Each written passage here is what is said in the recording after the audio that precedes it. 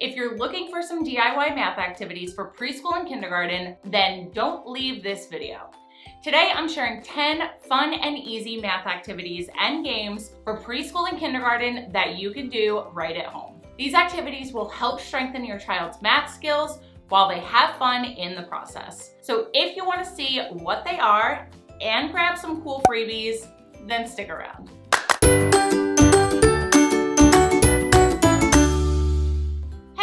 And welcome to the Innovative Mama. If you're new here, my name is Jess and I am a former preschool and kindergarten teacher with over 12 years of classroom experience. On my channel, you'll find helpful videos for navigating the world of early motherhood, including fun and educational activities that you can do at home with your little ones. If you're not already a part of our YouTube family, then make sure to go ahead and click that subscribe button and the notification bell before you go so that you never miss out on any of the fun. Now let's check out our 10 preschool and kindergarten math activities.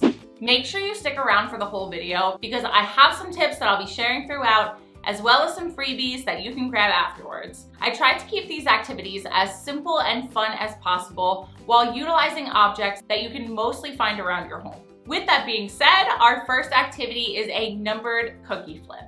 This activity is a great way to strengthen your child's number recognition skills. All you'll need is a spatula, a cookie sheet, and some cookie cutouts. You can either choose to make your own or I have these cookie printables available as a freebie for you to download from my early childhood resource library. So I will leave a link below in the description box so you can go ahead and grab that after the video.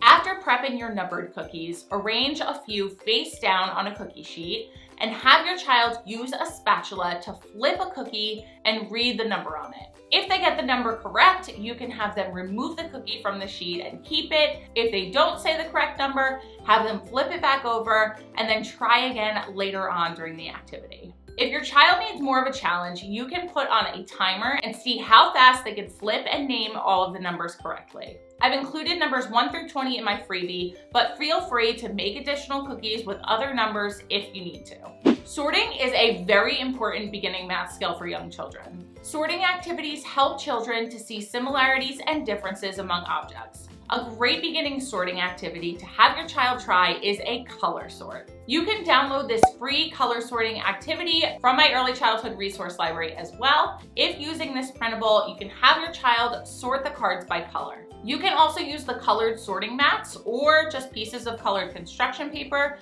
to have your child sort different objects such as toys or Legos by color.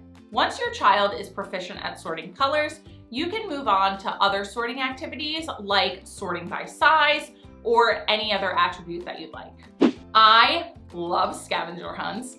I think they are a great way to incorporate learning with some movement. This shape hunt will have your little ones up and moving around as they work on recognizing shapes. All you need is a paper or plastic bag and either some index cards or some objects that all have the same shape. Choose one shape to start with and draw it on your child's back. Either draw the same shape on multiple index cards or gather some objects of the same shape. Next, hide the index cards or objects, or you can do a mixture of the two, around your home before handing your child the bag. Tell them what shape they're going to go looking for and send them hunting.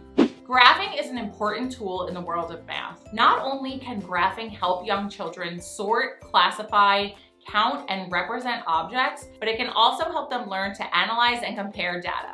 A really simple way to introduce the concept of graphing is by using Duplos or blocks. Have your child sort and stack some Duplos or blocks by color.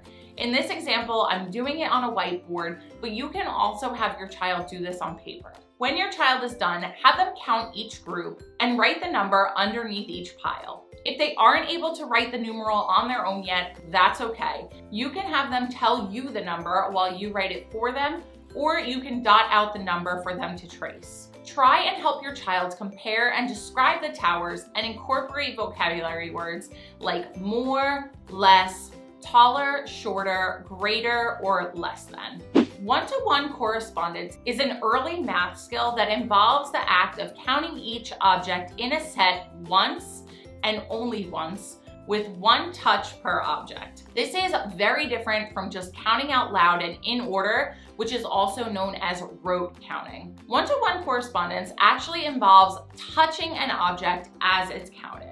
This can be a very complex skill for young learners, so it's important to offer multiple opportunities to practice one-to-one -one correspondence. A great, simple way to do this is to use these number counting cards, which I created and that you can grab for free in my early childhood resource library. Simply gather your child some small objects to count. I love these colored counting bears. I will link them down in the description box below if you're interested in them, but any small toy or math manipulative will work. Have your child place one object at a time on the circles as they count out loud. Make sure they're only saying one number per object. If they need help, gently guide them by modeling how to do this activity first. If you're finding these activities helpful, then please give that thumbs up button a quick click and let us know in the comments which activity you're most excited to try.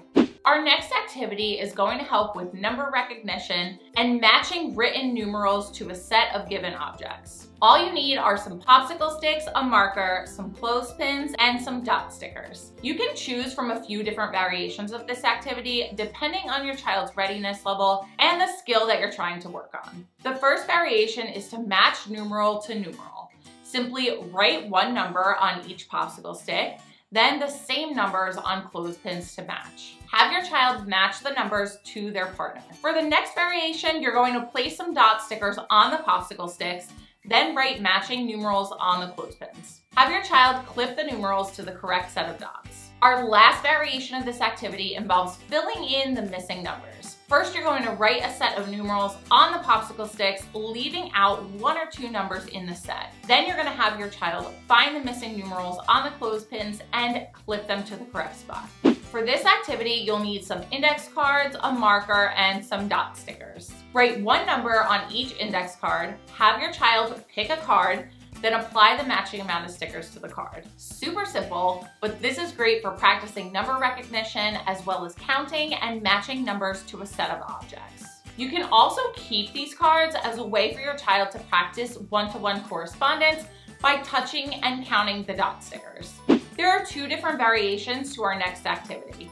We have some muffin tin counting or a muffin tin toss. For our muffin tin counting, you'll need a muffin tin, some cupcake wrappers or just paper for the bottom if you don't have any cupcake wrappers, some small pom-poms, and a pair of large plastic tweezers. Choose some numbers that your child is familiar with and write them on the cupcake wrappers or pieces of paper, one number per wrapper. Mix up the numbers and have your child use large tweezers to place the correct number of pom-poms in each slot. Not only is this great for your child's number recognition, but it also helps strengthen fine motor skills at the same time. You're going to set up the muffin tin toss activity the same way that you did the last activity. Then you're gonna have your child toss a large pom-pom or a ping pong ball into a slot. When they land it in a slot, have them read the number that they hit. If they read the number correctly, have them remove the cupcake wrapper from the tin. If they don't, have them leave it in there and try again the next time they hit it. Continue until all the numbers are removed from the tray. This is a great activity for hand-eye coordination and even some gross motor movement, depending on how far your child stands from the muffin tin.